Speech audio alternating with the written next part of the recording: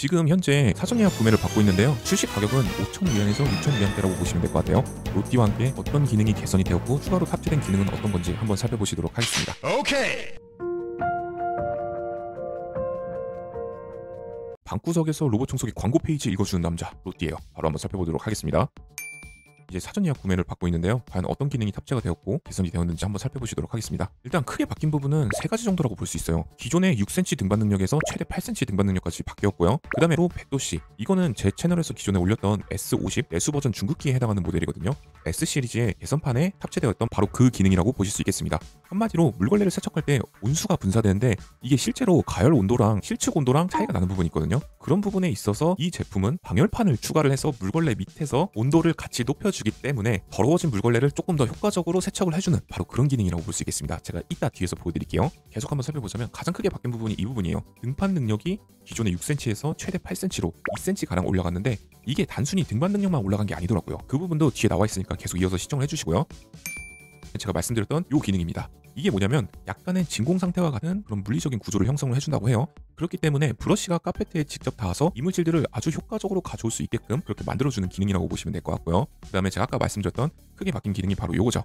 물걸레 바로 밑에 방열판이 반달 모양으로 박혀 있어요. 그래서 분출된 온수의 온도 자체도 더 데워주기 때문에 효과적으로 물걸레를 세척을 해준다고 볼 수 있겠습니다. 그리고 또 하나 바뀐 부분이 물걸레 패드의 재질이 약간 바뀌었습니다. 높은 온도로 세척한 물걸레의 온도 자체를 고온으로 계속 유지를 해주는 그런 기능이 탑재가 되어 있습니다. 요거 같은 경우는 향후에 타오바오나 알리익스프레스의 드리미 X50 개선 버전 요 제품의 부품이 이제 시장이 풀리게 되면 그 패드를 구입을 하셔가지고 회전형 물걸레를 사용하시는 모든 분들 조심하시면 될 것 같아요. 만약 크기가 안 맞는다 그러면 약간 어, 좀 문제가 될 것 같은데 드리미 X50 사용자들은 괜찮을 것 같아요. 전반적으로 사이즈도 똑같더라고요.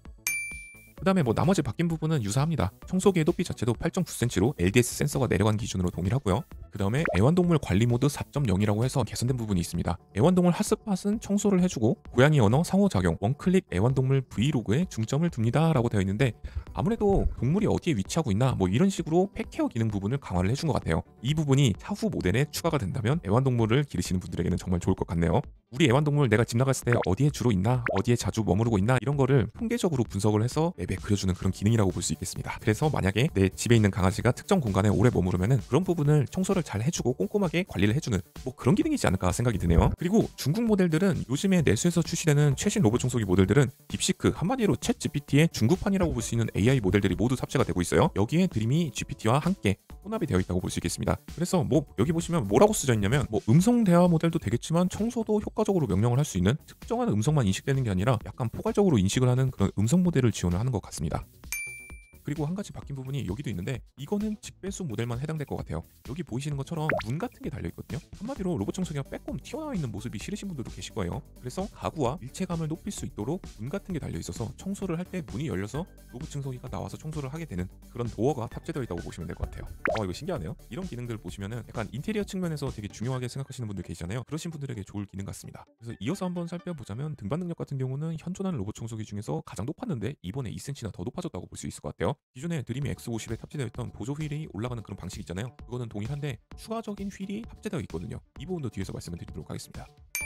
그래서 여기 보시면 뭔가 bracket 같은 게 보이시죠? 이걸로 인해서 조금 더 리프팅 능력을 높였다고 볼 수 있어요. 근데 여기 사진에서 보이시는 것처럼 최대 등반 높이가 8cm인 거지 단일 문턱 기준으로 봤을 땐 약간 조금 더 낮을 수 있다는 것을 참고로 해주시면 좋을 것 같아요. 드리미 X50 같은 경우도 단일 문턱 기준으로 4.2cm 수준이었거든요. 그래서 여기 보이시는 것처럼 광고 페이지 사진에도 그렇게 되어 있습니다. 최대 8cm 이렇게 이중턱 기준으로 최대 8cm 높이를 넘을 수 있다라고 되어 있습니다.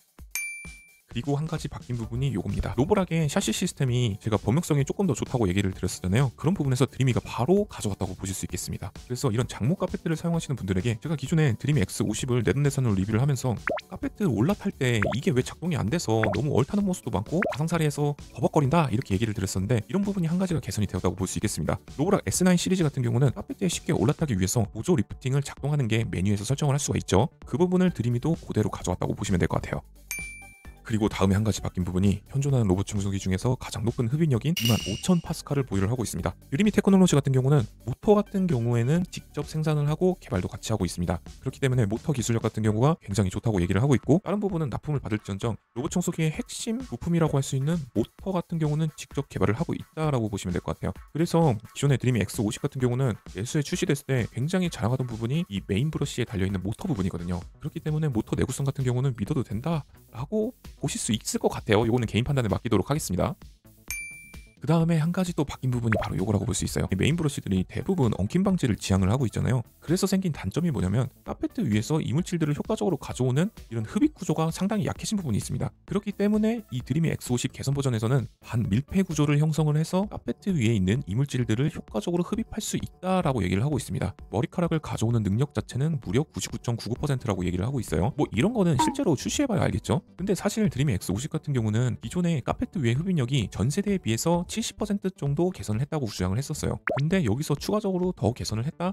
실제로 출시가 돼서 리뷰가 올라오면 어떤 부분이 주장하는 대로 실제로 개선이 되었을지가 정말 궁금하겠네요. 이 기능 같은 경우는 다른 로봇 청소기들은 어떤 기능이라고 볼 수 있을 것 같아요. 최근에는 에코백스 X9도 중국에 출시되었거든요. 거기서도 흡입 성능을 굉장히 높였다고 주장을 하고 있습니다. 이 모델 같은 경우는 한국에 출시될지 모르겠어요. 에코백스 X9이랑 드리미 X50 개선 버전을 말씀을 드리는 겁니다. 지금 여기 화면에 보이시는 것처럼 뭔가 분리적으로 스키즈가 달려있는 것 같기도 하고 아니면은 이 유동적으로 로봇 청소기와 카페트 사이의 작은 공간을 메꿔주는 그런 하드웨어적인 기능이 들어간 게 아닐까 생각이 들기도 합니다. 그래서 여기 보이시는 것처럼 100% 머리카락 가져오는 능력 99.99%뭐 이렇게 주장을 하고 있습니다. 그 다음에 한 가지 더 바뀐 부분이 드리미가 모터를 직접 개발하고 생산한다고 얘기를 했었잖아요. 그래서 그런지 흡입 성능을 한 번에 5000 파스칼 정도 올렸습니다. 근데 제가 누누이 말씀드리는 거는 흡입력은 단순한 수치에 불과하다고 저는 생각을 하거든요. 실제로 로봇 청소기가 돌아다니면서 흡입할 때 max치의 흡입력으로 계속 흡입을 하지 않습니다. 물론 앱에서 설정을 바꾸면은 그렇게 변경을 할 수 있겠지만 실제로 max치의 흡입력이 진가를 발휘하는 부분은 카페트밖에 없다고 저는 생각을 하거든요. 그래도 어쨌든 흡입력 자체는 현존하는 로봇 청소기 중에 제일 높다라고 보시면 될 것 같아요. 가장 최근에 출시되었던 로봇 청소기 에코백스 X9 같은 경우는 흡입력이 23,800파스칼이고요. 그 다음에 그 밑으로 내려가 보자면 한 23,000파스칼, 22,000파스칼 수준이라고 보시면 될 것 같아요. 이어서 한번 살펴보겠습니다. 이게 제가 기존에 올렸던 영상인 드리미 X50에 탑재되어 있던 방열판 기능 한마디로 물걸레를 아주 깨끗하게 세척해줄 수 있는 그런 기능이 탑재되어 있다고 보시면 될 것 같아요. 여기도 동일하게 flagship이니까 당연히 들어갔겠죠. 그리고 한 가지 더 바뀐 부분이 이겁니다. 물걸레 패드에 열 에너지를 오래 보존할 수 있는 보온병 같은 거 있잖아요. 그런 부분이 탑재되어 있다고 보시면 될 것 같아요. 그래서 이거 시중에 만약에 부품이 풀리잖아요. 드리미 X50 유저분들은 물걸레 패드 사서 장착만 하시면 될 것 같아요. 기존에 로보락 같은 경우는 온수를 데펴가지고 로봇 청소기 내부에 있는 정수통으로 넣어줬었어요. 근데 실제로 바닥을 만져보면은 전혀 따뜻하지가 않았거든요. 그래서 드리미 같은 경우는 어떤 식으로 개선을 했냐면 아예 물걸레의 재질 자체를 바꿨다고 볼 수 있겠습니다.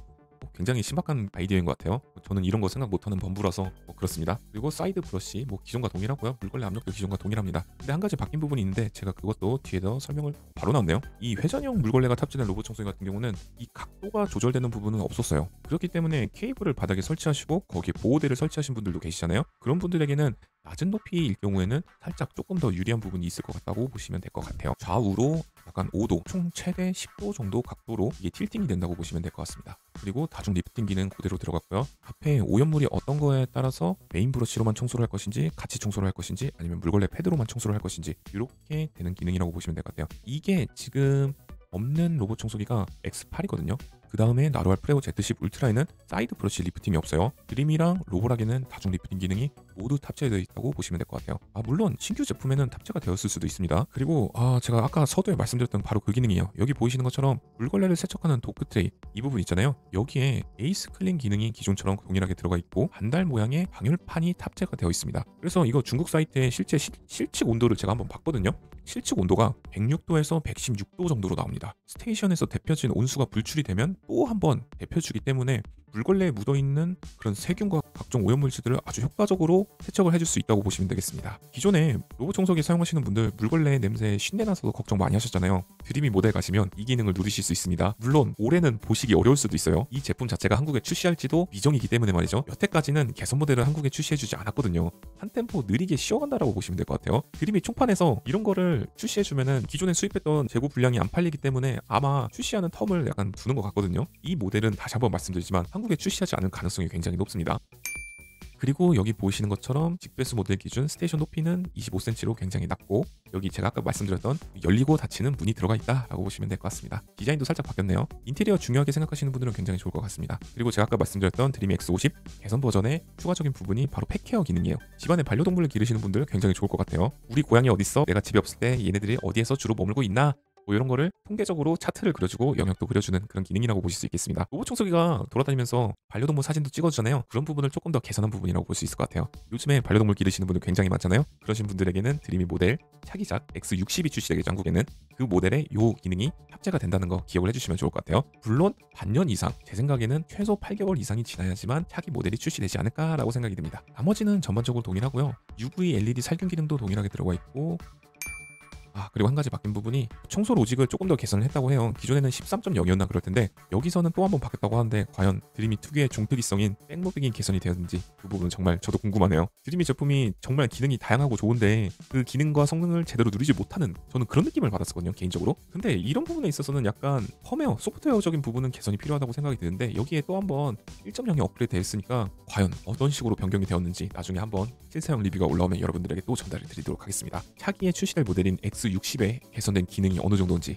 한번 대략적으로 미리 파악을 해볼 수가 있겠죠. 나머지 전반적인 기능들은 유사합니다. 이거 가격 보니까 일반 모델 기준으로 5,699 위안, 그 다음에 직배수 모델 기준으로 봤을 땐 최대 6,699 위안입니다. 가격을 하나로 산정해 보면 가격은 이 정도 한다고 보실 수 있겠고요. 여기까지 롯디였고요. 여러분들 최신 로봇 청소기 소식이 궁금하시다면 제 채널 구독을 눌러주세요. 제가 방구석에서 이 광고 페이지나 읽고 앉아있지만 빠르게 소식을 전달하기 위해서 다방면으로 많이 정보를 찾아보고 있거든요. 마찬가지로 실제 출시가 되고 나서 사용자 리뷰가 올라오면 그것도 이렇게 또 한번 읽어드리고 전달해드리는 영상을 제작해서 올리도록 하겠습니다. 향후에도 또 다른 플래그십 모델이 출시되면 내돈 내산을 해보던가 아니면 뭐 제품을 협찬을 받으면 그거를 리뷰를 해보고 여러분들에게 의견을 나눠드리는 답글을 달아드리는 그런 영상도 제작해보도록 할 테니까 너무 미워하지 말아주세요. 진짜 여러분들의 관심과 성원이 저에게 큰 도움이 됩니다. 그리고 한 가지 더 있거든요. 이것도 봐주세요. 제가 네이버 카페를 오픈했습니다. 바이럴 마케팅이 지겨우신 분들이 굉장히 많았을 거라고 생각이 들었어요. 클린 로봇 청소기 커뮤니티를 만들고자 이렇게 카페를 오픈하였습니다. 네이버 카페 검색창에 로봇 청소기 매니아를 검색하셔도 좋고요. 고정 댓글이나 영상 더보기란에서도 쉽게 가입할 수 있습니다. 연막 없는 찐 정보와 솔직한 후기를 남기는 그런 커뮤니티가 되었으면 합니다. 로키가 매번 지켜보고 있으니까요. 영상에서 언급하거나 추천드린 제품은 모두 고정 댓글 링크에서 확인하실 수 있어. 꼭 구독이랑 좋아요 눌러주고 가.